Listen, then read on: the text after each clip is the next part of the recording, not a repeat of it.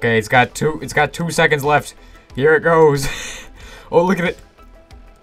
Yes. Let's go. It's going so slowly, but we can watch it from here, and it's it's actually going into space. So we're getting our first space station now.